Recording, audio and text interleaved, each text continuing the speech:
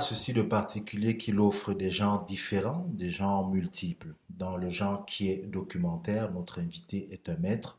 Nous le retrouvons après ceci. That is how far I can remember certain part of my youthfulness. Until I found myself with this auntie by name Nancy Bynum. À un moment donné, euh, je ne savais pas si je voulais pleurer ou si j'étais comme j'avais froid dans le corps. Et j'avais hâte de savoir si Ernestine elle-même avait des enfants. Mais j'aimerais savoir en quoi, selon vous, le, le, film, quel est l'élément du film qui est vraiment d'intérêt public? J'ai trouvé ça euh, fascinant. Est-ce que j'aimerais, euh, ce sur quoi j'aimerais vous entendre, c'est que vous me donniez votre sentiment sur comment est-ce que les, les Camerounais, à votre avis là-dessus, comment est-ce que les, est-ce que les Camerounais sont eux-mêmes conscients euh, des sacrifices que certains ont fait parce que là, bon, on ne parle pas d'Oumniobé, on ne parle pas. Il y a des films où on voit que les gens se battaient euh, contre du napalm, ils avaient des machettes. Sous-titré en français pour un public francophone, est-ce que c'était une question de, de moyens ou est-ce que c'était un choix que vous avez fait?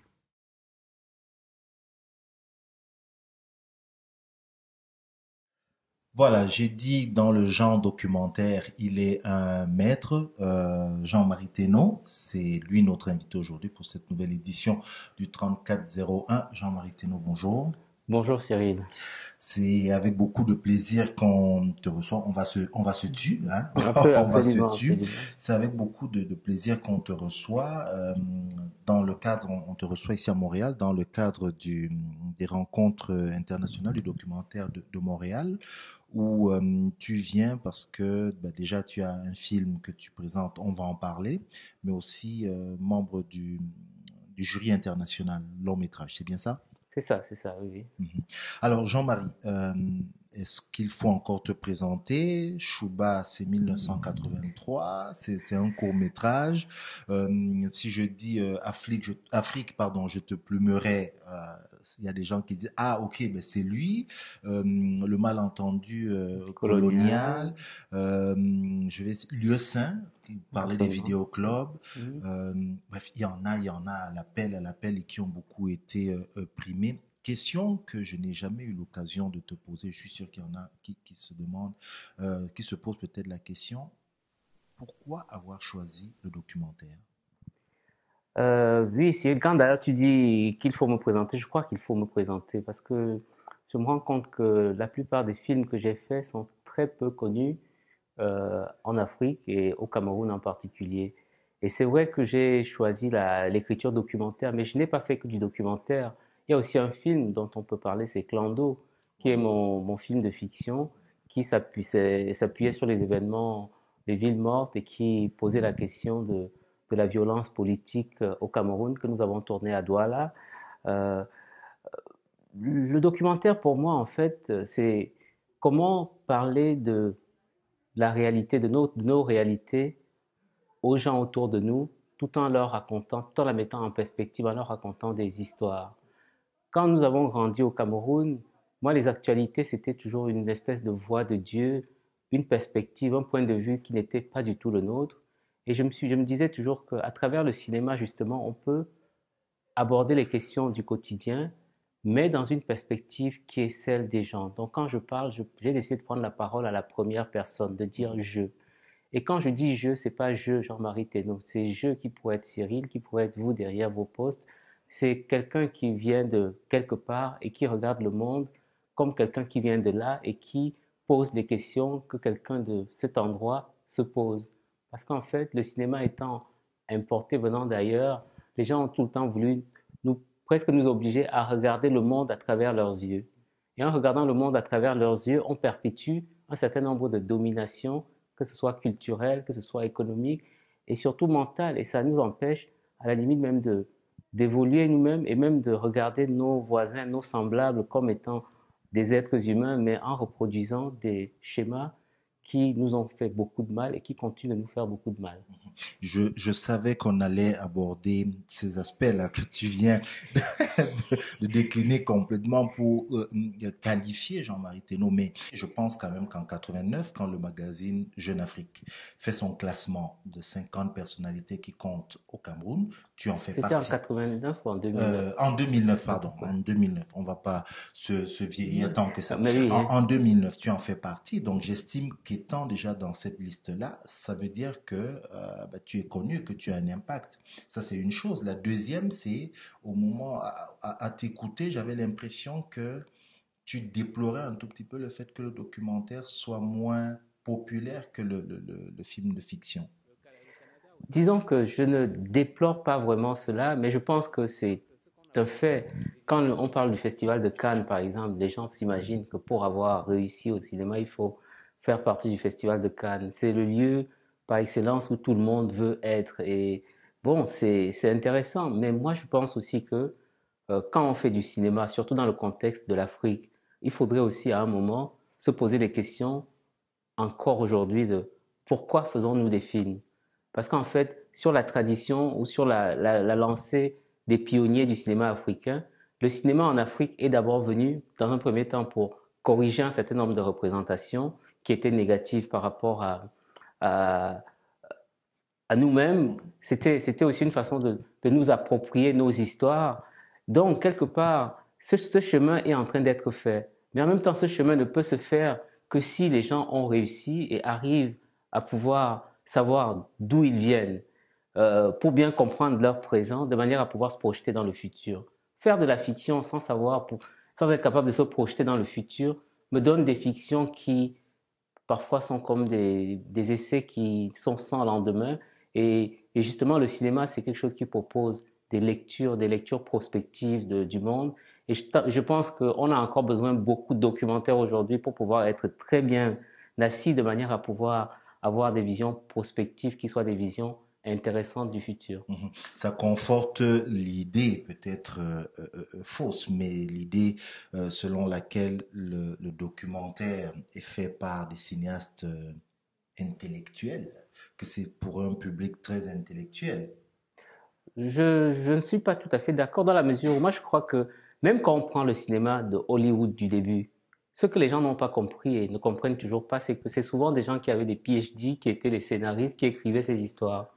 C'est pas parce qu'on a un intellectuel qu'on n'écrit pas, qu'on ne peut pas écrire des choses qui sont à la portée des gens. C'est plutôt des pseudo-intellectuels qui ont tendance à faire beaucoup de flou. Moi, je pense que quand on arrive à simplifier le propos au point où le message ou le, le, le, discours, la métaphore qu'on essaie de mettre en lumière est perceptible par le plus grand nombre de gens, on est un, est intellectuel. Moi, je suis tout à fait conscient que les questions que je pose sont des questions fondamentales, mais dans la vie, dans la vie, dans nos vies, je crois que c'est les intellectuels aussi qui, petit à petit, nous, nous, permettent de nous poser des questions, de nous, de nous positionner. Et ce n'est pas forcément ceux qui sont les plus populaires ou les plus financièrement assis, mais bon, mais en même temps, c'est nécessaire de, de réfléchir sur le monde, sur la vie. Et le documentaire nous permet justement de nous poser des questions qui nous aident à mieux vivre. Je, je rappelle que vous avez, euh, tu as, pardon, tu as évoqué euh, le festival de Cannes. Oui. Et c'est un festival d'ailleurs où tu es aussi assidu que tu que tu es dans les, les, rencontres, par exemple, de documentaires comme celle à laquelle nous assistons aujourd'hui. Cannes, par exemple, cette assiduité, pourquoi tu y vas? Ben, Disons que, étant donné que Cannes devient le, le lieu où tout le monde va, la plupart des fonds profitent souvent de Cannes pour donner les guidelines pour arriver à accéder à ces fonds. C'est un endroit où se concentre un très grand marché, où on peut rencontrer des, des, cinématographies de différents pays, des fondations de tous les pays, et où on peut avoir accès à toutes ces informations qu'on peut éventuellement trouver sur Internet, mais qu'on ne trouve pas toujours puisqu'on ne sait pas qu'elles existent.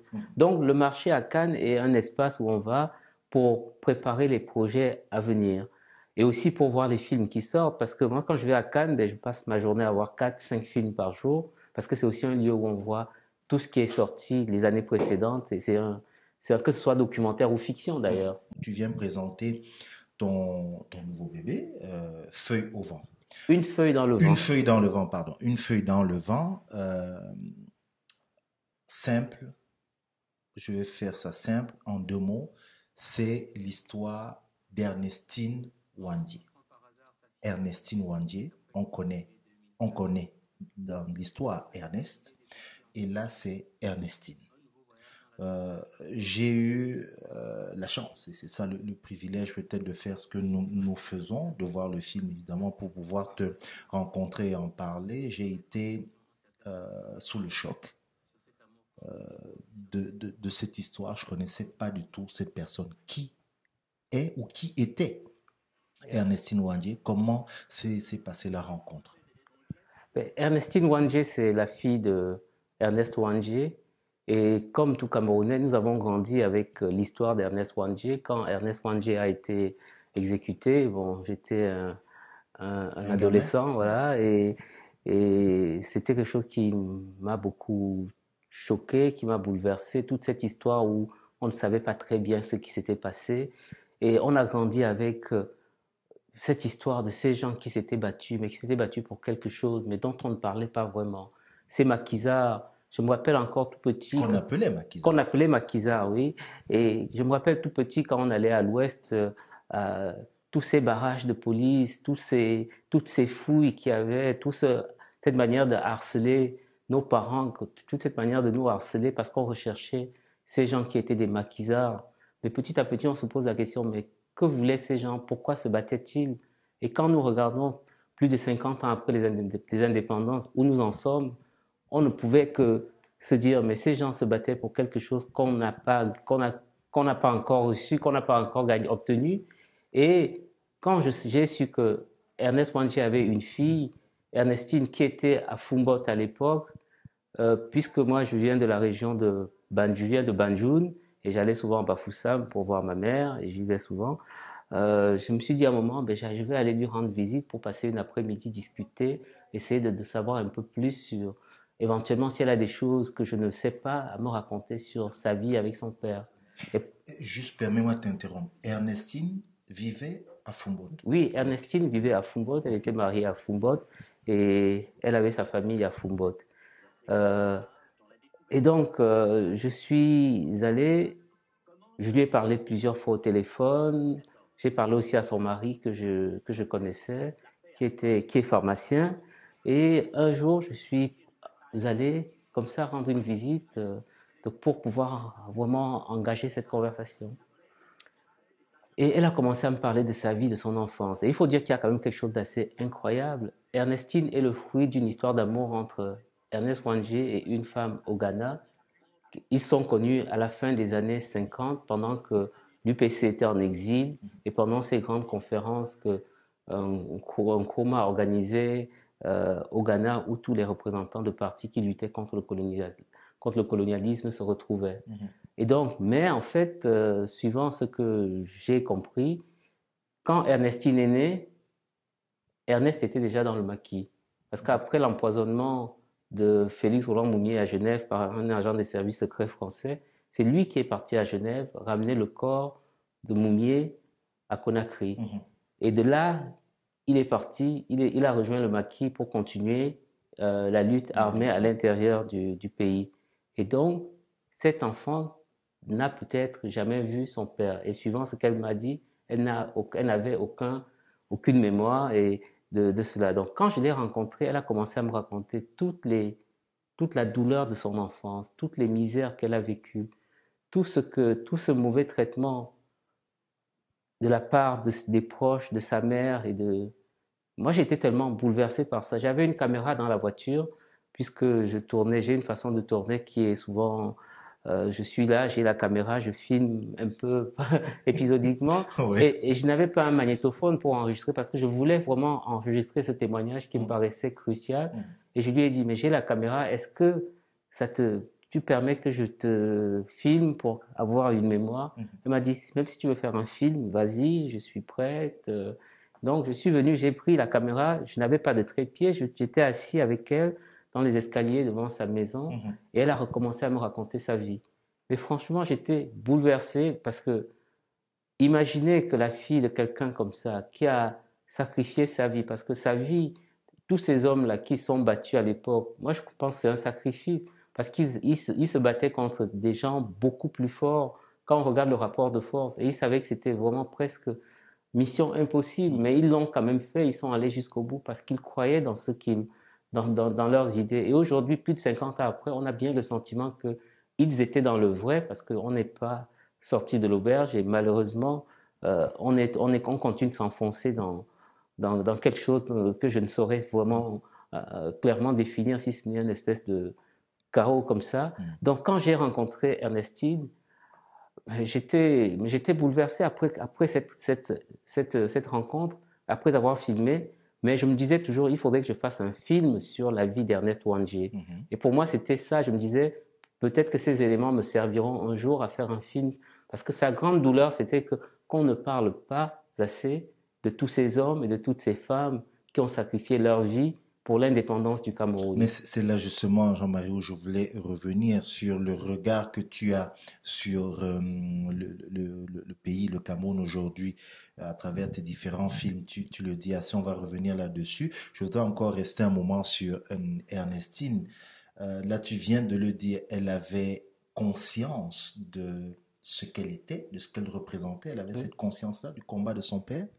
elle avait une grande conscience du combat de son père. Et ce qui, est- ce qui m'a aussi impressionné, c'est que j'ai vu plus tard une interview de son père quand il était à Genève. Et c'était pour moi tellement incroyable de voir comment ils articulaient leurs propos de la même façon. Ces deux personnes qui ne s'étaient pas rencontrées, mais qui étaient vraiment la fille de son père, mais quand ils se parlent, quand ils parlaient, j'aurais pu mettre les deux interviews l'une à côté de l'autre. On avait le sentiment qu'il y avait quelque chose de tellement fort qui avait été transmis du père à la fille, qui pour moi, je trouvais ça tellement beau, parce que, en plus, il y avait la ressemblance physique même Mhm, qui, et donc, fait. et cette détermination. Donc, pour moi, son suicide est arrivé comme, comme un choc parce que cette femme qui, pour moi, était d'une force, toutes les fois que je lui, que je lui, je lui ai parlé, il y avait cette force, cette détermination, mais en même temps, cette profondeur, cette douleur dans le regard. Je me suis dit, il y a quelque chose dans, dans son histoire qui est, qui est, que les gens doivent C'est savoir. tragique, c'est tragique, Jean-Marie. Est-ce C'est c'est plus, c'est plus que tragique. Mais moi, je crois que le tragique de son histoire va au-delà de son histoire personnelle. Mhm. Moi, je crois que cette femme, par sa force, c'est la, c'est la tragédie du Cameroun, en fait, qu'elle incarne complètement. Parce qu'en fait, quand on la regarde, on voit cette femme avec son, sa beauté, son intelligence, sa détermination. Et pour moi, c'est comme le Cameroun, avec toutes ses, toutes ses possibilités, toutes ses, tous ses talents, mais en même temps, quel, quel gâchis. Est-ce qu'elle a, euh, euh, est-ce qu'elle a eu, puisque là tu l'as dit, elle, elle est décédée aujourd'hui, puisqu'elle s'est suicidée. Euh, si tu veux, tu nous parles des, des, des raisons peut-être qui l'ont amenée à ça. moi, moi, je, moi, je dirais plutôt qu'elle s'est donné la mort. Elle s'est donnée, La- mort, donnée parce que bon, mort. Quand on parle de suicide, on peut parler aussi de désespoir, mais en même temps, je me demande si son, son geste n'est pas plus, n'est pas aussi un, Un geste, message, un geste, un- un geste politique, parce que Mhm. moi, j'ai plus ce sentiment dans la mesure où, comme par hasard, son père a été exécuté à peu près au même âge, il y a presque 47, 48 ans, euh, là où son père, c'est à ce moment qu'on a exécuté son père, elle aussi, elle a choisi d'arrêter pas très loin. Il y a des choses comme ça.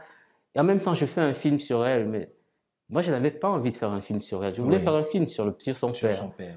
Donc, alors, je me dis, il y a quand même des choses là-dedans qui sont très, très curieuses. quoi. Il y a des choix qui sont des choix politiques, mais qui sont des choix politiques qui vont au-delà de, d'un choix politique qu'on peut articuler, mais qui, qui font que si on, parle, si on reparle de cette histoire aujourd'hui, c'est parce que elle n'est pas là. Si elle n'était pas là, je serais encore en train de. Si elle était encore là, je serais encore en train de réfléchir comment faire le film sur le père. Trouverais-je les moyens?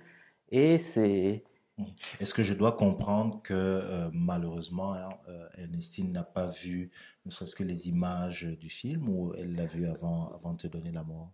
Elle n'a pas vu les images, parce qu'en fait, l'idée même de faire un film sur elle n'est venue que quand j'ai appris, et après plusieurs mois, plusieurs mois de retard, qu'elle était décédée. Je ne l'ai, je ne l'ai su que, qu'en 2010, au milieu de 2010, en fait. Je ne le savais pas. Et est-ce que Ernestine a laissé des enfants? Ernestine a laissé des enfants.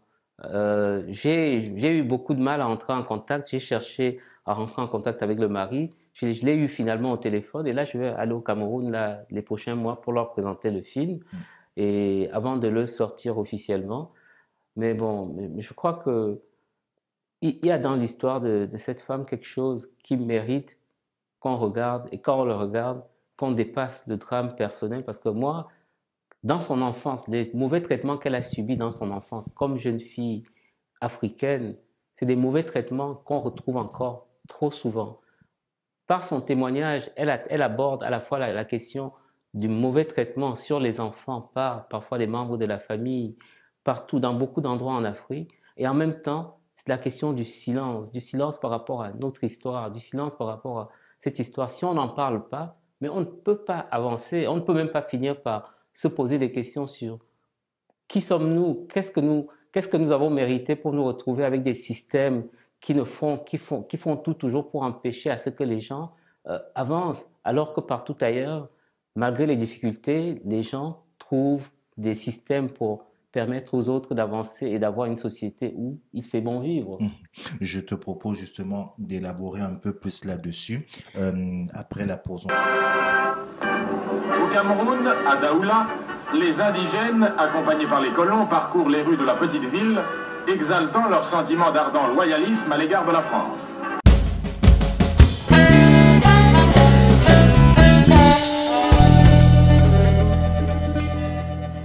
Retour euh, avec notre invité Jean-Marie Thénault. Le rire, c'est parce que pendant la, la pause, alors j'ai fait une, pas une bévue, hein, disons-nous les, les, choses, on est, on est entre nous. C'est que quand j'ai cité les, les films, euh, Jean-Marie, que tu, que tu as fait, j'en ai oublié principalement deux. Oui. Et c'est un crime de lèse-majesté. Il faut que je regarde bien mes fiches. Euh, Fièvre jaune. Fièvre jaune taximan. Fièvre jaune taximan. Euh, Bikutsi Water Blues, qu'on oui. appelle aussi euh, l'eau de misère. L'eau de misère. Euh, pour ceux-là qui nous regardent, là, on est ici entre nous. Ces deux films-là ont quelque chose de particulier par rapport à notre environnement ici là, tout de suite. C'est quoi? Je te laisse toi-même le dire. Mais dis- disons que ces deux films ont quelque chose de particulier parce que je retrouve avec beaucoup de plaisir. Et d'ailleurs, je ne les ai pas tous cités, les films dans lesquels euh, Honoré, euh, qui est derrière la caméra, parce que c'est quelqu'un quand même, si on parle du cinéma au Cameroun, c'est quelqu'un qui a fait du chemin avec moi dès le début. Tous les premiers films, les premières expériences, c'était avec lui et avec euh, euh, Bonaventure Takukam, ils étaient les deux vraiment caméramens qui, qui nous ont accompagnés au début quand il y avait le film. Et Honoré dans Fièvre jaune taximan était assistant, il faisait presque tout. On était une toute petite équipe. Bikutsi Water Blues, là, Honoré aussi s'e- s'essayait même au, au jeu. Oh non, il était comédien, mais, si, mais, si, a- mais si, mais si, mais si, mais si, il a, il a tenu, il a tenu très, très bien, il a bien joué dans, et même, et même beaucoup plus tard, j'ai, appris qu'il a même sorti des CD après. Oh oui, non. Ah. Ce- cet aspect-là, cet aspect-là, les, les, les, ceux qui nous regardent, les, Le les habitués de Ndiangi TV le savent. À ce niveau, musicalement, le folklore, Bamileke et tout, Ouais. euh, bon, sinon il va avoir la grosse tête après, il est, euh, il s'y connaît. Vraiment, c'est, j'ai découvert aussi beaucoup de choses grâce à lui là-dessus. Mais alors, apprenti comédien, euh, là, là, je... Il, je- n'était pas apprenti, il a très bien joué. Ah parce que moi, je crois qu'il aurait pu avoir une, une, une super carrière euh, au niveau du jeu, parce qu'à l'époque, en plus, euh, il, il se tenait bien. Et si Mm. on faisait des films d'action à l'époque, puisqu'à l'époque aussi, ça s'essayait dans les arts martiaux, Ouais. on aurait pu avoir un, un Honoré Van Damme. euh, Donc, euh, ceux qui, qui, qui, non, il faut les, chercher. Fièvre jaune taximan et puis Bikutsi Water Blues. Donc, voilà, ça c'est Honoré Doudou Noumabe qui- qu'on retrouve dans, dans ces films. J'ai toujours dit, c'est de, de master, hein, c'est de master. Alors, Jean-Marie, revenons sur euh, ta carrière. Euh, une feuille dans Une le feuille vent, dans le tout à Et fait. c'est- Et c'est Ernestine qui le dit. parce qui le dit dans, qui dans le dit le dans le film. ouais, documentaire. Et, et c'est incroyable parce que cette femme, et c'est pour ça que je dis que quand on ne peut pas tout simplement balayer du revers de la main qu'elle s'est suicidée. Voilà, elle m'a parlé pendant une après-midi et tout ce qui s'est passé, c'est comme si elle m'avait, elle m'avait dit, elle m'avait parlé de ces choses. Mais comme je ne suis pas formé pour, comme psy- psychiatre ou psychologue, Mhm. moi, je l'ai rencontrée comme personne qui avait cette douleur par rapport à l'absence de mémoire par rapport au père. Mais c'est vrai que si j'avais été formé, euh, j'aurais compris son besoin d'aide. Et elle plaçait son besoin d'aide, c'était surtout rompre ce silence autour de l'histoire, autour de notre mémoire. Et tant qu'on ne va pas sortir de ce silence, moi j'ai le sentiment que on a beaucoup de choses chez nous qui ne vont pas aller. Et par exemple, à Bafoussam, euh, dans les endroits, le carrefour des maquisards, par exemple, tous ces lieux où il sont passés des choses graves, on a besoin à un moment d'aller et de faire quelque chose dans ces lieux pour que nos morts, tous ces gens-là reposent en paix et, et nous laissent évoluer de manière constructive, en fait. Jean-Marie, qu'est-ce que tu entends par briser le silence? On le brise comment? On parle On de cette histoire comment? Comment on parle de cette histoire? Mais je crois déjà quand on a la volonté, et même dans toutes les familles, quand il y a des choses qui ne vont pas, les gens se réunissent et ils se parlent. C'est quoi les conférences nationales? Ben, je ne sais pas si on, on- on peut trouver des grands mots ou des grandes phrases, mais moi je crois déjà que si les gens, au fond d'eux-mêmes, pensent que c'est nécessaire de parler de ces choses, ils trouveront les, formules pour le faire. Moi, quand j'énonce un propos, je n'ai pas la, mise en œuvre de cela, parce que je crois que si les gens, au fond d'eux-mêmes, se disent, parlons de cela, disons ce qui s'est passé, euh, c'est vraiment important que les gens se réunissent et trouvent le moyen d'en parler. Et c'est quoi? C'est par l'éducation, c'est pas euh, des places où on, on commémore ce qui s'est passé, c'est redonner à ces gens qui ont fait, rétablir la vérité, la vérité historique dans les livres d'histoire, leur accorder une place qui est la place qu'ils méritent et vraiment comprendre ce qui s'est passé pour pouvoir enfin définir ce que nous sommes en train de faire. Parce qu'on ne peut pas avoir des partis politiques qui se réclament des uns des autres, mais en même temps qui, ne font pas grand-chose pour que tous ces gens qui ont, qui, qui ont lutté et lutté pour quelque chose, il y a des écrits, mais on ne sait, c'est comme s'il n'y avait rien, c'est une espèce de vide et on laisse toujours ceux qui les ont fait disparaître avoir le monopole de cette histoire, mais qui n'est pas, pas dite de manière, de, manière, de, manière, de manière claire en fait.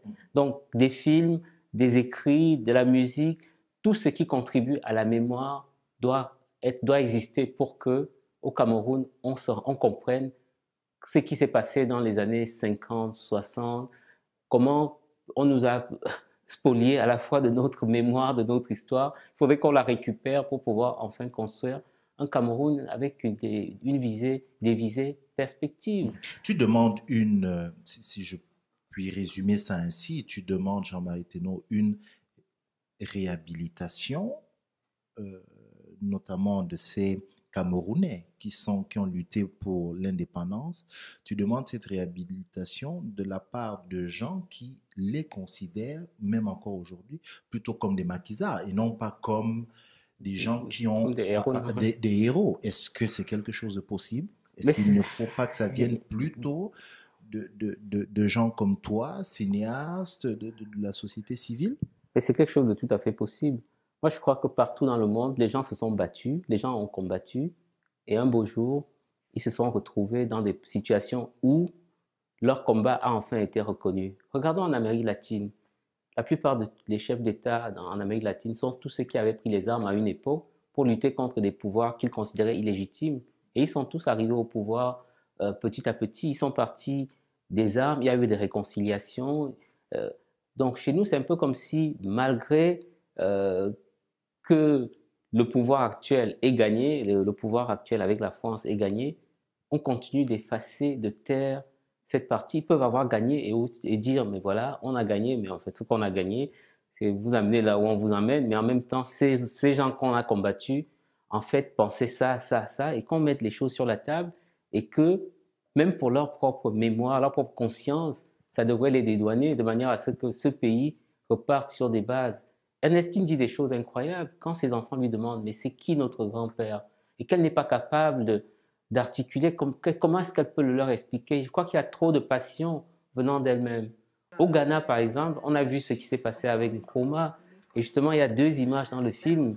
L'image de la statue qui a été déboulonnée en, en 1965 au moment du coup d'État qui a été détruite et puis 30 ans après on a reconstruit une autre statue parce que au bout d'un moment, les gens retournent dans l'histoire, essaient de comprendre ce qui s'est passé. Et je me dis que le- au Ghana, par exemple, on est en train de voir que les gens se, récon- se réconcilient avec leur histoire et leur passé et vont trouver dans le passé des éléments qui leur permettent maintenant de construire un pays apaisé.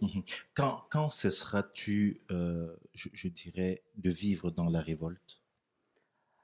Euh, quand cesserai-je de vivre dans la révolte? Je ne vis pas dans la révolte tout le temps. C'est peut-être que mon œuvre est une œuvre de révolté. C'est peut-être parce que c'est ce que la vie m'a donné comme cadeau. C'est ma révolte. Et quand je ne serai plus révolté, peut-être que ce sera le moment de, tirer ma révérence. Ou alors tu cesseras quand euh, bah, ce que tu, ce à quoi tu aspires, c'est-à-dire que la, la, le bruit du silence, que ce genre de choses euh, euh, se mettent en place. Mais oui, mais, mais, il y a toujours de nouveaux, il y a toujours de nouveaux combats parce qu'en même temps, la réflexion sur la vie, la vie est quelque chose comme ça qui, même quand tout va bien, même quand on se lève le matin, on est heureux, on se dit toujours, hmm, est-ce que ça va durer? Euh, Il y a toujours quelque chose qui... Mais je suis peut-être dans quelqu'un qui est dans le questionnement constant. Le bonheur que j'ai à un moment, est-ce que mon bonheur est complet si mon voisin n'est pas heureux lui aussi? Est-ce que mon bonheur est complet si, euh, si en même temps je spolie d'autres personnes euh, pour, être heureux? Donc c'est aussi des réflexions qui font que est-ce une malédiction? Mais c'est peut-être ça ce que le destin m'a donné, c'est de pouvoir questionner, réfléchir et de pouvoir apprécier la vie en questionnant et aussi en rigolant parce que les prochains films que je vais faire vont peut-être repartir. Vers ce qui m'a toujours fait plaisir, c'est l'humour, c'est la comédie, mais pas une comédie insipide, mais une comédie qui amène les gens à, à, à réfléchir aussi en même temps sur des choses et sur l'absurdité et peut-être apprendre la vie avec plus de légèreté. Je voudrais évoquer la mémoire de quelqu'un qui, euh, d'après les informations que nous avons, était assez cher. Je parle ici de euh, Pius Ndiawe. C'est quelqu'un dont tu étais très proche. Oui. Mm. Oui, dans, dans ma vie, j'ai eu très peu, peu d'amis et Pius Ndiawe est quelqu'un que je considérais comme un ami et peut-être que le, le, drame de ma vie, c'est que beaucoup de tous ceux qui me sont proches ont tendance à toujours disparaître comme ça, parfois de manière incompréhensible dans la, force de sa jeunesse. Et Pius Njawe, c'est quelqu'un avec qui je partageais beaucoup de choses, une réflexion sur le monde et, aussi, c'était un ami et donc, euh, tout, les, toutes les agitations autour de sa, de sa mémoire, pour le moment, je laisse les choses s'apeser et peut-être qu'un jour, j'écrirai quelque chose, je ferai un film, un essai pour rendre hommage aussi à Pius parce que le combat de Pius était exemplaire. Et voilà quelqu'un qui, on ne peut pas considérer que c'était un intellectuel, mais pourtant voilà quelqu'un qui a su analyser et qui a tellement bien compris la société camerounaise et qui nous a aidés à comprendre le système oppressif dans lequel nous vivions et qu'il a combattu avec ses moyens et qui a laissé un héritage que j'espère va continuer à se perpétuer. Et donc, je, ne voudrais pas me mêler de toutes ces luttes qui... Qui, sont plutôt des luttes matérielles, je matérielles pense, et lutte pour le contrôle de son, de son, de son, de journal, son journal, Le Messager. Et, et, ça me fait beaucoup de, de peine et bon, je, je n'ai pas envie de, de, me mêler de ça. Mais bon, j'espère qu'avec un peu de temps, euh, les choses vont s'apeser et peut-être qu'à ce moment-là, il y aura un moment où on parlera de, de Pius Ndiawe comme étant, faisant partie de la lignée de tous ces hommes, tous ces Camerounais, toute cette richesse dont le Cameroun regorge, mais qui, mais qui sont détruits. Et quand je pense à Pius Ndiawe, je pense aussi encore à d'autres pays. Il y a d'autres qui sont partis, pas dans les mêmes conditions, je pense à des journalistes comme comme David Lachitagne, qui aussi est parti dans la, dans la jeunesse comme ça. Il y a beaucoup de gens qui... On a beaucoup de morts au Cameroun, mais parfois il faut se poser la question, est-ce que c'est pas une façon d'organiser notre vie qui fait qu'on ne laisse pas à, toutes ces, à tous ces talents la possibilité de s'épanouir et qui fait que on brise les ailes de tellement de gens trop tôt, même, pas, même si c'est pas fait de manière directe, mais, petit, mais la vie finit par leur briser les ailes et, et c'est toujours une très grande perte pour la réflexion intellectuelle dans notre pays.